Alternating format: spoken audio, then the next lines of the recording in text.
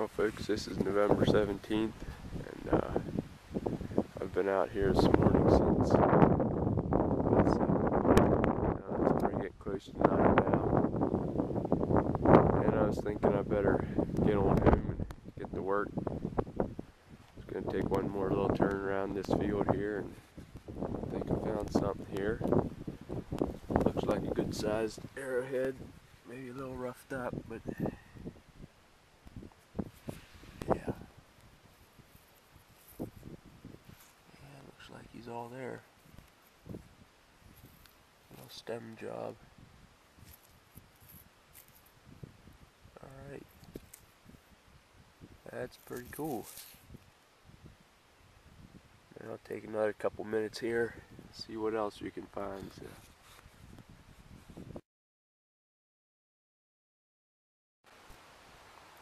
Hey folks, this is Sunday the 20th. I'm in the field here above the spring, sort of down the low part instead of right over on the on the rise there, but it was pretty wet this fall and the farmer really ripped this up getting uh, his crops out.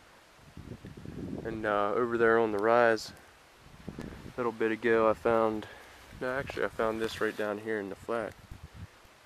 This piece here, it's a midsection.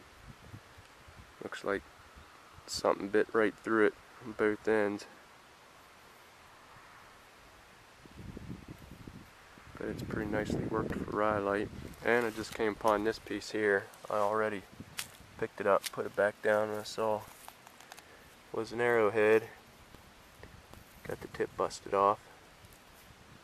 And it's rhyolite, so yep, I'm right here, right next to the road and so I better be getting home.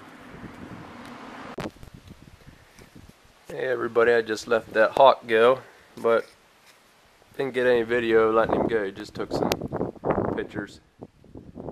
Uh, anyway, here's the arrowheads I found last week. Here's the one I found down in that field that had the pumpkins in this summer. Pretty much all there, just tip's gone. Probably a Fox Creek. And then I think I found this down there too, just a midsection. Yesterday I found this guy. Has a tip busted off of him too, but all this stuff's made out of rhyolite. This in here is a midsection pretty nicely worked for for rhyolite but looks like something just took a bite out of, off the tip took a bite off the back end there so and then this piece is not rhyolite this is some pretty nice nice grade flint don't see too much of that here in this area I don't know where they would have got it from probably New York but well,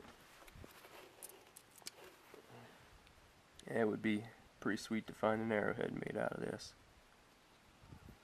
Okay, that's what I found. We'll see what else you can come up with later this week. Hope you all have uh, good luck hunting arrowheads.